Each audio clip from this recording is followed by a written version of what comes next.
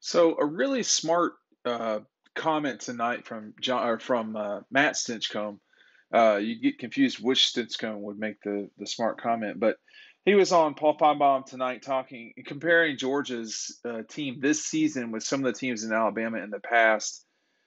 And John, with this comment, Georgia's as locked in as we've seen as anyone we've ever seen, and it's hard to disagree with that um, having watched and admired what Nick Saban's done at Alabama for such a long time, uh, this Georgia team is definitely in a position um, to to replicate that, and they'll have a massive challenge on their hand this Saturday doing that in Atlanta. And listen, uh, we've got a deal right now on Dawg Post, two dollars uh, for two months. You, you, you're not going to want to miss the playoff run here with us.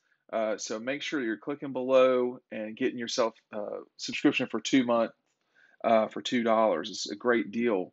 Nick had this to say on uh, Monday, I think it was, might have been Sunday. Georgia's been the number one team in the country for good and uh, for good reason. They're probably the most consistent, most dominant team week in and week out. So obviously, going it's going to be our biggest challenge, toughest test of the year.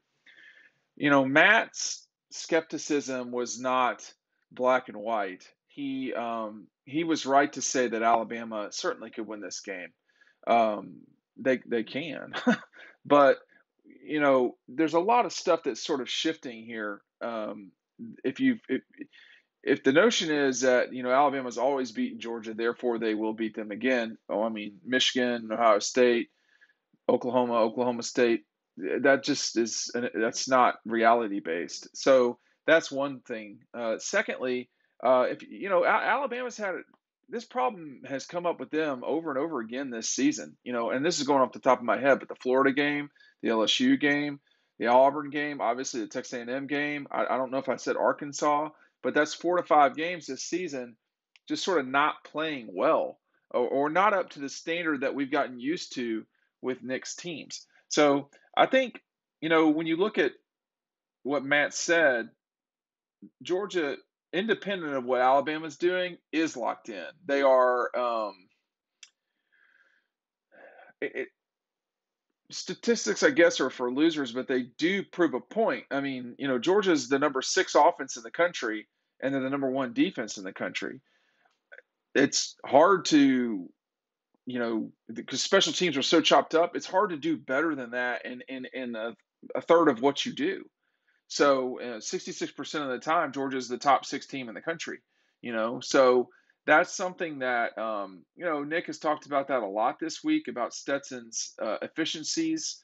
Um, but I think too, all you have to do to worry about how dangerous Alabama is, or really both these teams. I mean, if you want to worry about how dangerous Alabama is and the mental toughness that they develop over time, there, just just watch the Auburn game.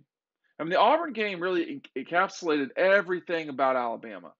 They're struggling um, at times against teams that they, well, that they're better than. And they, you, you cannot just beat them once. You've got to beat them multiple times. You look at the Georgia game, you know, they played Tech a, as just as a team about as well as they played anybody outside of Arkansas and Vanderbilt. I mean, they they were totally as as as Matt Stinchcomb said, locked in. They were there to win it, to destroy, to dominate, and they did. And so these two teams coming into the this game, I mean, I think Georgia clearly has the advantage coming into this game. I mean, the the guys in Las Vegas feel like that's that's where it should be about a, a touchdown game or so. Um, I'm not shocked by that number by any stretch, six and a half. Um, I thought I think Georgia's the better team. If they if they played Alabama and lost, the next time they would play, if they played again, Georgia might be a three point favorite, but they would be the favorite again, just like um, you know if Alabama played Texas A&M tomorrow, uh, they would be. I mean, they would be probably a, a seven to ten point favorite over Texas A&M. So, um, can Georgia take everything they've done this season, the methodical nature that this program has or this team has built as they've gone on. Uh, they've gotten to this point in the season and they're about about as healthy as they've been. Think about all the struggles the entire way through. JT Daniels, George Pickens. You know, half the season we've been wondering if JT Daniels is healthy or not. Well, it's you know Stetson's obviously got a lock on um, the starting position. My my point is to demonstrate how many guys from Georgia offensively, Darnell, JT, George, uh, you know, you lose your starting guard, Tate Ratledge, to start the season. I mean, it's it's been you know Kearis, Blaylock. It has been a never-ending struggle for the dogs to stay healthy, and now Alabama is dealing with that with Robinson, their running back, and and and Bama's had a hard time running the ball when they want to. So, all of that said, the confidence that you see when you're on the sideline, the well, confidence is probably the best term. The knowing that you can do it, the steadfastness that you have the capability to win at Neyland, no problem. Even if the other team gets up, you're not that worried about it. Um, I, I just I think I think Matt hit it right that this is a team that's totally locked in. If they weren't locked in, they wouldn't have scored on whatever it was against Tech, like four straight drive. Did they punt in the first? I think they did punt in the first half, but it it, it wasn't you know some crazy uh, you know struggle on offense like we saw in 19 down there when you know Jake Fromm really was having a hard, just not a good day. Stetson was totally locked in. He played excellent. Uh, you know Brock Bowers, the defense, um, all of it. Jack Podlesny, all those guys have really played well. I, I can't recall off the top of my head how the punt game was, but I, I just don't think Georgia punted enough to where it would, would really matter a lot. So Matt's right. They're locked in. I think Matt is correct in terms of his skepticism for Alabama to win this game. You know, I don't I'm certainly not saying they can't. Matt can speak for himself, but I'm certain he was not saying that Alabama can't. This is an Alabama team that has the capability to win any game they play. Period. Now, let's not be dumb.